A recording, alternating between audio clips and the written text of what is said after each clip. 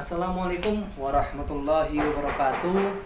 Teman-teman semuanya sebangsa, setanah air, sepengaritan Di mana pun teman-teman berada Semoga selalu dalam keadaan baik-baik saja. Salam ngadet, salam perjuangan teman-teman.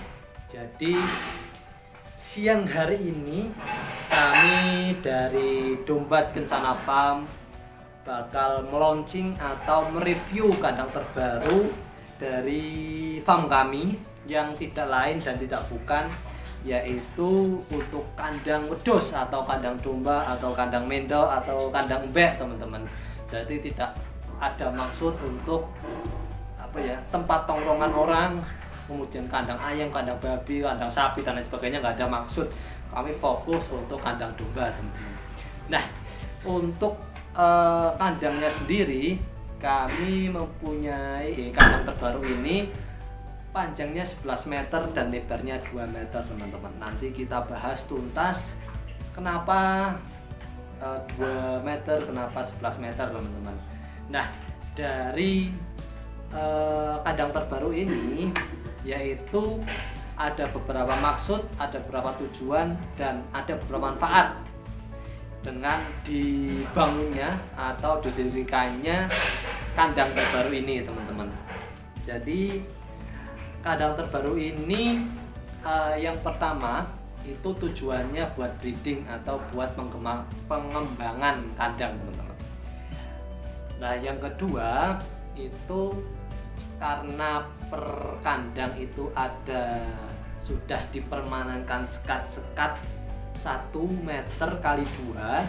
Jadi yang pertama tujuannya buat memisahkan domba-domba yang bunting besar teman-teman bunting besar kami sudah siapkan sekat jadi sekatnya ini permanen sekatnya permanen tidak bisa diubah dan lain sebagainya karena memang tujuannya untuk kandang biar kelihatan bersih kelihatan rapi dan tidak ada tambang-tambang atau tali-tali yang lawer teman-teman atau yang kelihatan Nah, yang ketiga itu untuk memisahkan domba-domba yang sapi, teman-teman. Karena ketika mempunyai panjang 1 meter, lebar 2 meter, itu mungkin cukup untuk empatan ekor domba yang lepas sapi, teman-teman, yaitu berkisar 4 bulanan. Nah, kemudian uh, untuk selanjutnya yaitu manfaat atau tujuan yang keempat yaitu untuk penggemukan teman-teman karena kan e, fokus atau da, tujuan dari penggemukan ini ini mohon maaf karena saya belum pernah terjun langsung ke penggemukan. Apabila ada tutur kata atau kesalahan bisa dikoreksi ya teman-teman. Karena tidak lain tidak bukan yaitu untuk sama-sama belajar teman-teman. Karena ketika menurut saya panjang dan lebarnya 1, eh, 1 kali 2 itu tujuannya untuk meminimalisir adanya pergerakan dari domba dan domba bisa bebas atau bisa memaksimalkan pakannya teman-teman. Karena ketika panjangnya satu meter itu dengan domba ukuran jumbo bisa dua ekor teman-teman. Nah ketika dua ekor tersebut domba masih bisa makan masih bisa duduk dan meminimalisir terjadinya pergerakan tetapi masih bisa gerak teman-teman. Jadi tidak begitu usel-uselan tidak begitu cepat-cepatan eh tidak begitu apa sih? Ya deket-deketan lah. Masih bisa makan dengan nyaman masih bisa gerak dengan nyaman dan masih bisa istirahat dengan nyaman teman-teman. Nanti habis ini kita review bareng-bareng bagaimana kandang terbaru dari Dombat Kencana Farm ya sekian teman-teman ayo kita review bareng-bareng check it out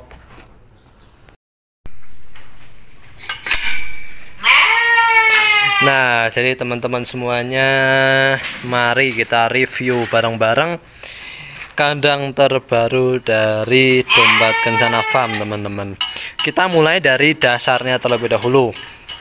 Untuk dasarnya, rangka utama atau rangka dasar kami menggunakan beton teman-teman. Nah penggunaan beton ini biar enggak ondal-ondel atau bahasa Indonesianya apa sih? Gemetar atau goyang-goyang teman-teman. Jadi kita patenkan biar semakin kokoh teman-teman. Nah kemudian untuk finishing dari uh, apa rangka betonnya ini kami hanya menggunakan AC untuk penghalusan dan juga cat teman-teman. Cat menggunakan warna biru biar kelihatan cerah seperti awan. Nah lanjut untuk eh, rangka alas kami menggunakan nah ini kami menggunakan besi UNP 5 teman-teman. Nih besi UNP 5 dengan ketebalan 5 mili. Nah ini besi UNP 5 ini yang mangap. Yang mangap gunanya uh, untuk apa namanya agar selet plastik ini bisa terpasang dengan rapi dan kondisinya diam teman-teman. Enggak goyang-goyang. Nah kemudian menggunakan siku ketebalan 5 mili juga gunanya untuk menggabungkan antara alas satu dengan alas satunya teman-teman Nah, lanjut. Ini yang salah satu paling penting dan saya akan menceritakan pengalaman saya mengenai penggunaan alas plastik ini, teman-teman. Nah, jadi alas plastik ini itu ada plus minusnya karena uh, dari manfaatnya sendiri yang pertama alas plastik ini itu lebih rapi, lebih bersih dan mudah dibersihkan teman-teman. Kalau kotor. Tetapi kalau pakannya tidak dicacah itu berakibat kepada pakan yang ditarik sehingga kandang kelihatan kotor teman-teman nah selanjutnya uh, minusnya itu selain tadi pakan ditarik kelihatan kotor dan tidak masuk itu ketika manak cempe terkadang kukunya masih masuk ke sela-sela kandang. Kukunya masih masuk tetapi untuk penarikan harus hati-hati teman-teman. Karena memang sedikit sulit untuk penarikannya nah lanjut. Untuk minusnya penggunaan kandang atau selet plastik ini beberapa kali terjadi domba yang dengklang teman-teman. Dengklang atau apa sih igluk-igluk atau bahasa Indonesianya apa sih uh, ya pokoknya bermasalah sama kakinya lah teman-teman. Nah e, mungkin faktor utama itu kedua kukunya itu masuk ke sini teman-teman. Nah masuk ke sini entah kejongget entah terlalu maju atau terlalu kuat saya kurang paham teman-teman. Nah beberapa kali terjadi untuk domba-domba yang ukurannya jumbo-jumbo teman-teman. Nah itu minus penggunaan selet plastik ini. Tetapi ketika apa namanya dalam kondisi bersih bagus teman-teman. Nah kalau di tempat saudara-saudara semua teman-teman semuanya mengalami pengalaman yang sama atau beda teman-teman. Nah ini saya berbagi pengalaman saja mungkin bisa jadi bahan pertimbangan atau bahan pembuatan kandang teman-teman. Entah menggunakan prank atau reng atau menggunakan serat plastik ini atau menggunakan serat yang lain teman-teman atau alas yang lain. Kita lanjut mereview yang lain teman-teman. Nah kita sebelumnya bakal mereview pintu terlebih dahulu teman-teman. Jadi kandang domba batur ini dengan panjang 11 meteran kemudian lebar 2 meter itu ada empat pintu teman-teman. Nah pintu satu, pintu dua, pintu tiga, dan pintu empat. Itu ketiganya ada manfaatnya masing-masing. Yang pertama itu pintu paling pojok itu untuk domba-domba yang sekiranya besok ketika mau main domba pedaging teman-teman. Kenapa ditaruh di sana? Karena yang tadi saya cerita bahwa kandang ini sudah di apa sudah dilengkapi dengan pemasangan eh, sekat permanen teman-teman bisa dilihat sekatnya nah ini gabung ke situ Jadi nanti sudah ada sekat permanen yang tujuannya sudah saya jelaskan tadi. Selain buat penggemukan, terus pemisahan cempe dan juga induk-induk yang bunting, teman-teman. Nah. Nah, itu. Nah, terus untuk apa? Uh, pintu kedua digunakan hampir sama Me, uh, untuk memasukkan atau mengeluarkan domba-domba yang dari kandang lain ketika kandang lain sudah full atau uh, tidak ada tempat lagi untuk memisahkan domba yang bunting atau memisahkan domba-domba yang siap sapeh teman-teman ini. Nah, pintu ketiga, pintu ketiga digunakan untuk memasukkan domba-domba breeding. Domba-domba breeding ini gunanya hampir sama dengan pintu yang keempat. Pintu yang keempat di sana, teman-teman. Yang tadi pertama itu nah di sana. Nah, gunanya uh, hanya beda tempatnya saja karena ini ditakutkan nanti apa di sini banyak owoh atau apa sih limbah lah limbah atau kotoran atau penumpukan kotoran sehingga kami buat pintu yang kedua nah lanjut review nah terus untuk sled sled tadi itu dilengkapi dengan kabel tis nah kabel tis ini. Kabel tis untuk uh, mempererat uh, mempererat slide 1 dan slide 2 dengan menggabungkan uh, dengan siku yang 3 mili tadi. Jadi udah nggak ondel-ondel ditarik udah nggak bisa. Jadi benar-benar insya Allah sudah kuat udah rosa dan siap dipakai teman-teman lanjut.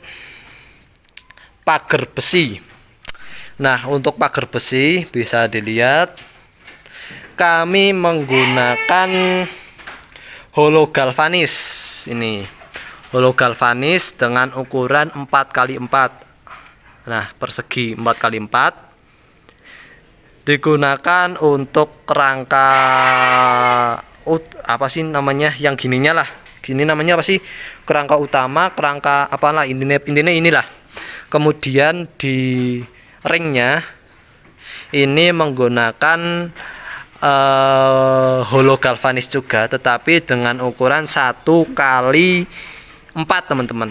Jadi tidak begitu lebar. Nah bisa dilihat. Nah untuk sela-sela ini ini berkisar 5 sentian ini berkisar 5 sentian.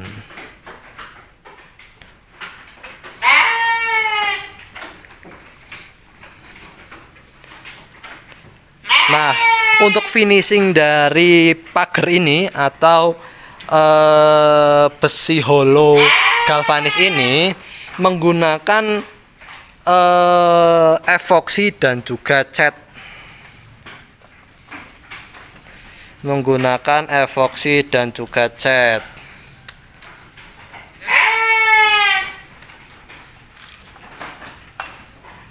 Nah, kita lanjut ke tempat pakannya, teman-teman. Ke tempat pak oh sebelum ke tempat pakannya jadi ke alasnya. Nah ini alas tetap dalam kondisi agak miring teman-teman.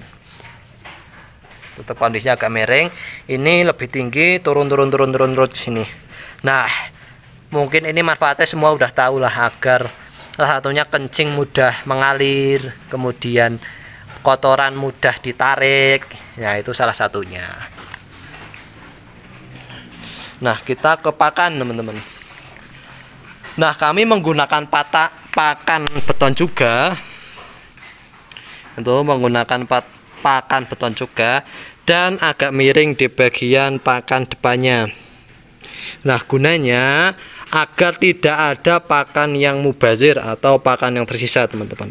Jadi sebisa mungkin domba, domba yang makan ke sini itu kepalanya atau lidahnya itu mencap apa bahasane bisa menggapai bisa menggapai pakan-pakan sisa yang di pojok-pojok sini teman-teman. Jadi sebisa mungkin tidak ada eh, pakan-pakan uh, yang tersisa atau uh, dientekna lah sama weduse. Jadi orang mubazir gitu nah ini sama untuk finishingnya menggunakan apa aci untuk penghalusan dan disambut atau dilanjutkan dengan menggunakan cat warna biru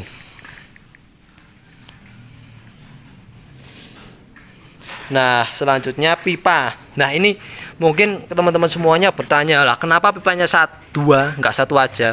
Jadi kami eh, apa namanya ber belajar dari kandang yang sebelumnya yaitu kandang yang sini yang kemarin sempat dibuat dengan kondisi atau model hampir sama teman-teman. Tapi di sini ada variasi-variasinya. Ini kayu jati kemudian ada variasi-variasinya ini dengan warna putih memadukan warna biru dan juga warna putih. Nah kami belajar dari sini ketika eh, apa pipa besinya segini itu ada cempe-cempe yang lompat walaupun udah besar. Walaupun udah lomp ke sini lompatnya. Nah ke sini untuk mencari makan yang di sini. Jadi kami mengantisipasi itu dengan menggabungkan atau mendobel besi teman-teman. Mendobel besi sebisa mungkin uh, dombane atau weduse jangan kepakan lah. Karena sering kekuzuan dan nanti nggak dimakan sama domba-domba yang makan sisa itu karena nggak sopan mungkin. Oke. nah terus dilanjutkan eh apa sih menggunakan apa di besi pipa ini yaitu eh, ukuran 2 inci dan ketebalan 2 mili teman-teman. Nah kemudian disambung seperti ini yaitu untuk pengerat antara besi satu dan besi satunya. Jadi udah walah walah walah rosa pokoknya rosa luar biasa. Nah